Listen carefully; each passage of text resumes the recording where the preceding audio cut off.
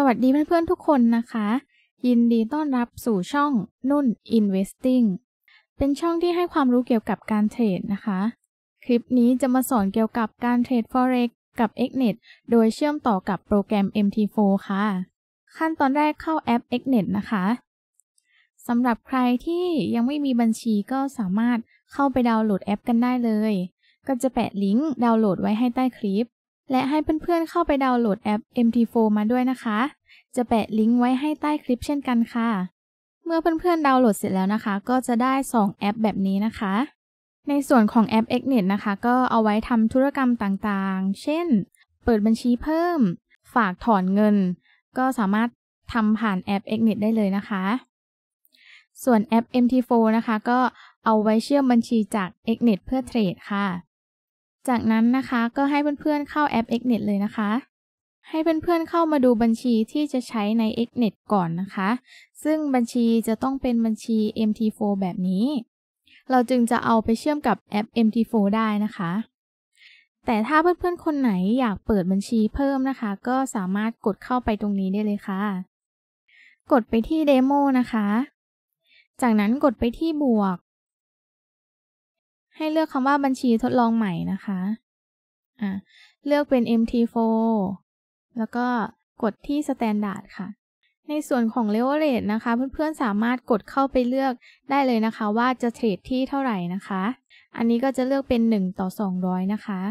แล้วก็ให้เพื่อนๆ ตั้งชื่อเล่นของบัญชีเข้าไปนะคะ ถ้าเพื่อนๆ ตั้งชื่อเล่นเสร็จแล้ว สามารถกดดำเนินการต่อได้เลยนะคะ ขั้นตอนต่อไปก็จะเป็น การฝากเงินเข้าบัญชีนะคะ ย้ำนะคะว่าบัญชีนี้เป็นบัญชีเดโมนะคะ เงินที่ฝากเข้าไปก็จะเป็นเงินเดโมค่ะซึ่งนุ่นมีบัญชีนี้อยู่แล้วนะคะ ก็ไม่ได้กดฝากให้เพื่อนๆดูนะคะ เดี๋ยวเรามาดูข้อมูลที่จะต้องใช้กรอกเพื่อเชื่อมกับแอป MT4 กันนะคะ ให้เพื่อนๆกดไปที่จุด 3 จุดตรงนี้อ่าแล้วก็กดที่การตั้งค่านะคะ ข้อมูลที่จะใช้ก็ประกอบไปด้วยเซิร์ฟเวอร์นะคะ แล้วก็ชื่อในการเข้าสู่ระบบนะคะ หลักๆก็จะมีประมาณนี้นะ เดี๋ยวเราจะเข้าไปที่แอป MT4 กันนะคะ เมื่อเพื่อนๆกดเข้ามาที่ MT4 แล้วนะคะ ให้กดไปที่การตั้งค่าค่ะอ่ากดไปที่บัญชีใหม่นะคะ เลือกลงชื่อบัญชีที่มีอยู่แล้วค่ะ ในส่วนของเซิร์ฟเวอร์ที่ต้องใส่ตรงนี้นะคะ ก็คืออันเดียวกับที่นุ่นพาดูใน Xnet เมื่อกี้ค่ะ อ่าเดี๋ยวจะพาเพื่อนๆดูอีกรอบนะคะ นี่ก็คือเซิร์ฟเวอร์ตรงนี้ ชื่อเซิร์ฟเวอร์ก็คือ Exness Trial 8 นะคะ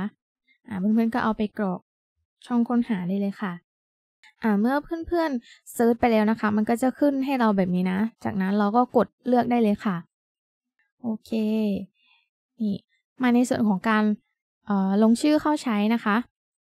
เราก็ไปดูในแอป Xnet เช่นเคยเลยค่ะ นี่มันก็คือตัวนี้ เราก็เอาตัวเลขตรงนี้นะคะ เข้าไปกรอกได้เลยค่ะอ่าเราเอาตัวเลขมากรอกลงในช่องอลงชื่อเข้าใช้แล้วนะคะ ต่อไปเป็นรหัสผ่าน รหัสผ่านเราก็ใช้รหัสผ่านเดียวกับที่เราลงทะเบียนเปิดบัญชีครั้งแรกเลยนะคะอ่าเมื่อทุกคนตั้งรหัสผ่านเสร็จแล้วนะคะ ก็กดเสร็จสิ้นได้เลยนะคะ ในส่วนของหน้าตา บัญชีเราก็จะขึ้นแบบนี้นะคะ สามารถเข้ามาเช็คตรงนี้ได้เลย อ่า มันก็จะถูกต้องตรงกับที่เรากรอกเข้ามาเมื่อกี้นะคะ จากนั้นกดไปที่ราคานะคะ ในส่วนของหน้านี้นะคะก็จะเป็นหน้าการเพิ่มคู่เงินที่จะใช้เทรดนะคะ เพื่อนๆสามารถกดไปที่เครื่องหมายบวกตรงนี้อะสามารถเข้ามาเลือกตรงนี้ได้เลยนะคะ แต่ถ้าเพื่อนๆมีคู่เงินที่จะเทรดในใจอยู่แล้ว เราก็สามารถกด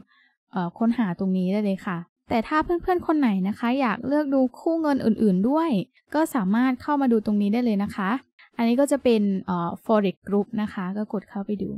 นี่ถ้าเพื่อนๆสนใจที่จะเทรดคู่เงินไหนนะคะ ก็สามารถกดไปที่เครื่องหมายบวกตรงนี้ได้เลย แล้วก็กดเสร็จสิ้นนะคะ ส่วนคู่เงินที่จะสอนวันนี้นะคะ ก็จะเป็นคู่เงิน XAU USD นะคะ เป็นคู่เงินทองคำนี่เลือกมาแล้วก็จะอยู่ตรงนี้ เมื่อเพื่อนๆอยู่ที่หน้านี้นะคะ ก็ให้กดไปที่คู่เงิน XAU USD นะคะ วันนี้ก็จะเป็นการเทรดทองคำนะอ่ากดไปที่กราฟ นี่หน้าตากราฟก็จะเป็นประมาณนี้นะคะเส้นกราฟนี้นะคะก็จะเรียกว่ากราฟแท่งเทียนนะคะ เราสามารถกดย่อขยายดูได้เลยนะคะ เพื่อนๆสามารถกดดู time frame ของกราฟได้เลยนะคะ ว่าในแต่ละ time frame เนี่ยกราฟมีแนวโน้มไปในทิศทางไหนบ้างนะคะ เดี๋ยวเราจะกดดู time frame นะคะ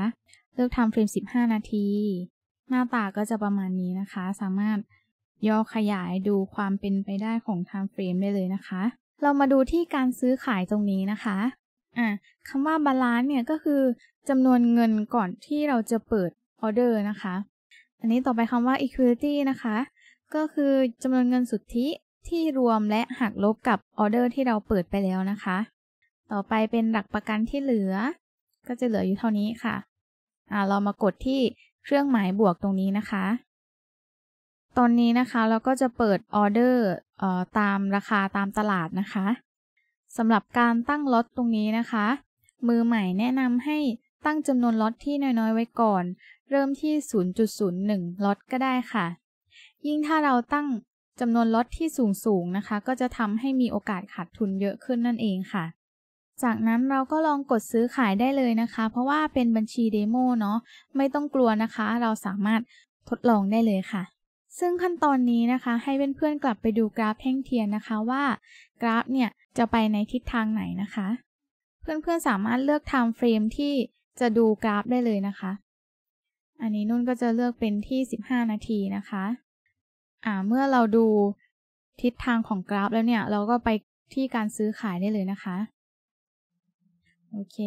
เดี๋ยวเราจะกดไปที่เอ่อ sell by market นะคะ ตอนนี้เราก็เปิดออเดอร์สำเร็จแล้วนะคะ เสร็จแล้วนะคะ เราก็เข้าไปที่กราฟได้เลยนะคะ